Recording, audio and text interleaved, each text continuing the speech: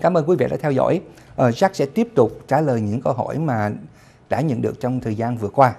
Uh, thưa quý vị, câu hỏi kế tiếp. Tôi kết hôn đã trên 10 năm, nhưng không có giấy hôn thú. Vậy tôi cần giấy tờ gì để chứng minh? Xin vui lòng trả lời. Uh, thưa quý vị, Jack cũng không hiểu. Nếu không có hôn thú làm sao gọi là kết hôn? Như vậy là quý vị chỉ là sống chung với nhau à, chứ không có phải trên vương phương diện pháp lý là kết hôn mà chỉ là sống chung mà thôi. À, thì câu trả lời này là quý cái ờ, à, vị khán thính giả này hỏi là đã từng sống chung với nhau 10 năm rồi mà không hôn thú bây giờ phải làm sao? Rồi có chuyện gì làm sao lấy tiền của người kia làm sao để chứng minh hôn nhân? Thì chắc chỉ nghĩ ra có một câu trả lời duy nhất đi làm hôn thú thôi. Quý vị đi làm hôn thú đi. Không hiểu lý do nào mà quý vị 10 năm qua không chịu làm hôn thú thì nếu mà quý vị bây giờ lo ngại cho những sự rắc rối sau này có thể xảy ra thì quý vị nên đi làm hôn thú đi.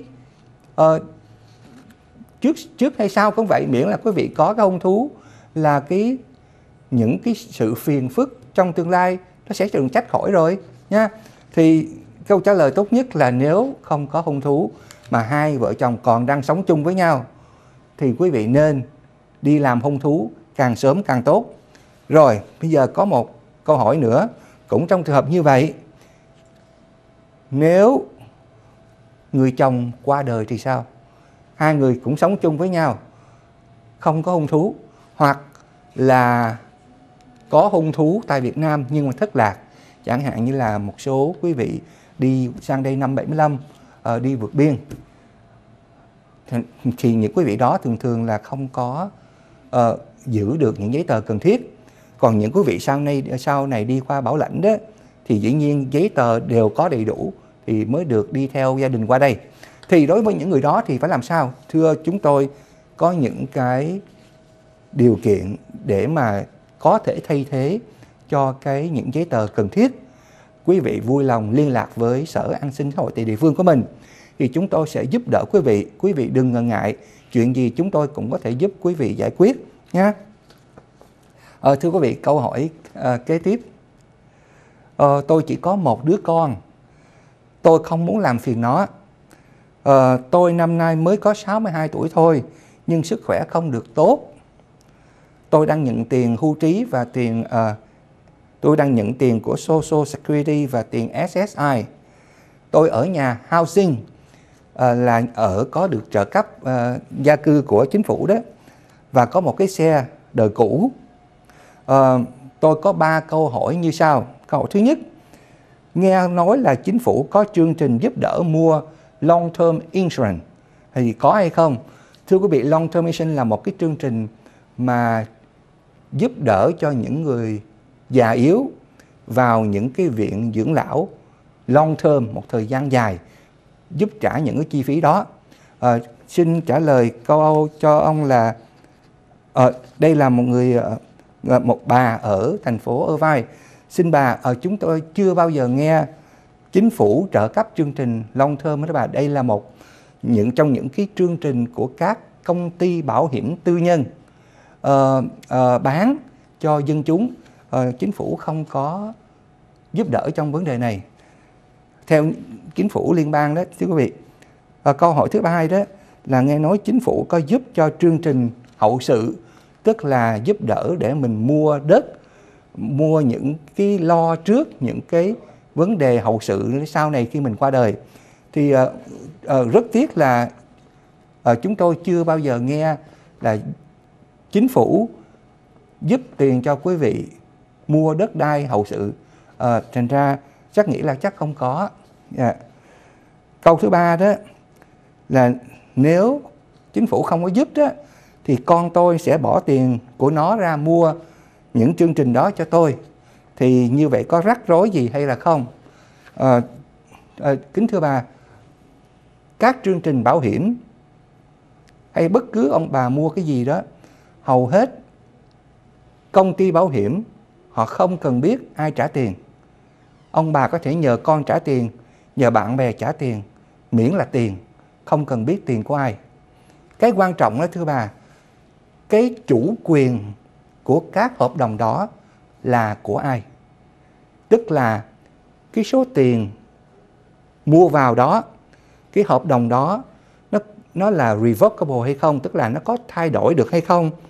Mua một mấy năm rồi, mình không thích, mình mình hủy bỏ mình lấy tiền về lại có như vậy hay không? Và cái người người nào đứng tên là chủ quyền cho các hợp đồng đó? Đó mới là những yếu tố quan trọng. Còn à, ai bỏ tiền ra mua cái những chương trình bảo hiểm đó thì chúng tôi không có quan tâm nhé anh thưa bà. Thì nếu mà có thắc mắc gì xin bà liên lạc với uh, sở an sinh xã hội tại uh, Irvine. Uh, câu hỏi kế tiếp thưa quý vị. Uh, tôi năm nay 62 tuổi nếu nhận tiền hưu đó thì tôi chỉ được khoảng 75% mà thôi. Sang năm là năm 2017, chồng tôi sẽ được 66 tuổi và dự định sẽ nhận tiền hưu trí của Social Security. Nếu tôi không lấy năm nay, tức năm nay bà vợ được 62 tuổi rồi. Nếu tôi không lấy năm nay thì sang năm khi chồng tôi được 66 tuổi đó, tôi ăn theo tiền của chồng. Vậy tôi sẽ được bao nhiêu tiền của chồng? Tôi có bắt buộc phải lấy uh, tiền hưu của tôi từ 62 tới 65 tuổi hay không?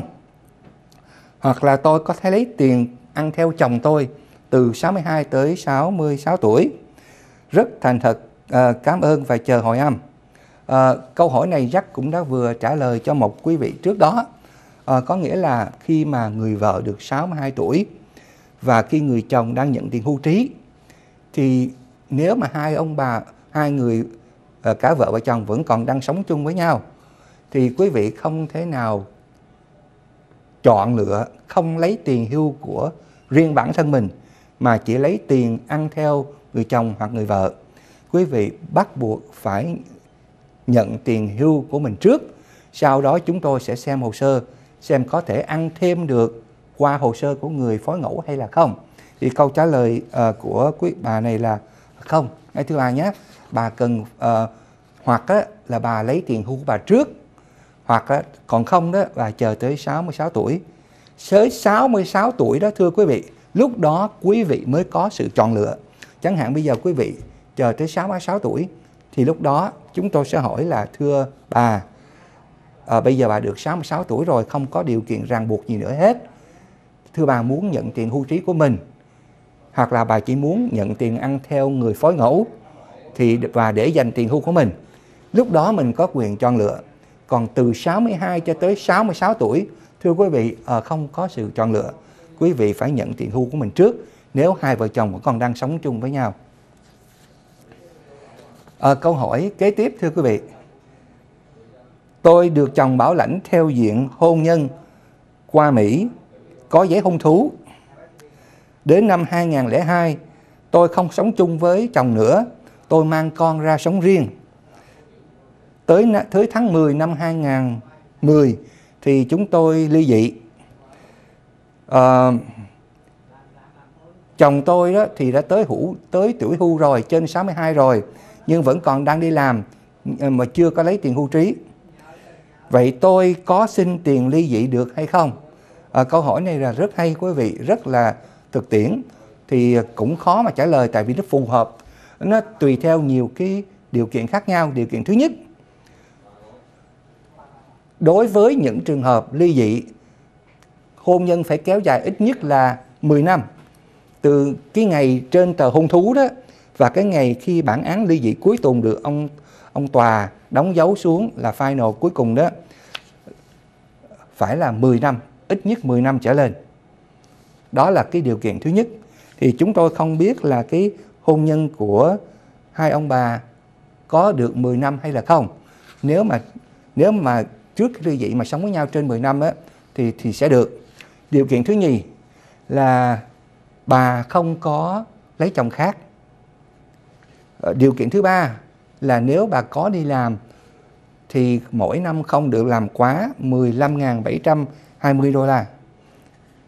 Nhưng nếu bà, trong cái câu hỏi này không có cho chúng tôi biết số tuổi của người con gái nếu mà người con gái uh, uh, có bị bệnh đó thì uh, khác nha nhưng mà cái vấn đề quan trọng đó là chúng tôi cần biết là cái hôn nhân kéo dài được bao lâu một điều quan trọng đó là nếu mà hôn nhân kéo dài trên 10 năm, rồi mới ly dị, mặc dầu ông chồng vẫn còn đi làm, chưa lấy tiền hưu quý vị, người vợ đó vẫn có thể nhận tiền ăn theo ông chồng ly dị của mình. Không cần phải chờ ông chồng lấy tiền mình mới được lấy. Đây là trường hợp duy nhất cho vấn đề ly dị nha. Tức là quý vị trên 62 tuổi và người chồng ly dị đó cũng phải trên 62 tuổi thì mình sẽ được ăn theo mặc dù ông chồng vẫn còn đi làm và chưa có nhận được ờ, tiền hưu. Xin quý vị liên lạc với cơ quan an xã hội để để tìm hiểu thêm chi tiết. Xin quý vị đừng rời máy, chúng tôi sẽ trở lại trong giây lát.